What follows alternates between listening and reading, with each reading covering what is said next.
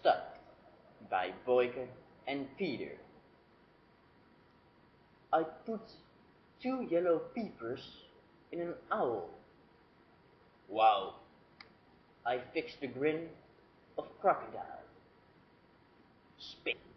I sew the slither of an eel. I cure. Kickstart. The back hooves of a mule. Wild. I hold the red rag to a bull. Mad. I spread the feathers of a gull. I screw a tight snarl to a weasel. Fierce. I stitch the flippers on a seal. Splay. I pierce the heartbeat of a quill. I like her to be naked and to kneel. Tame. My motionless, my living doll. Mute.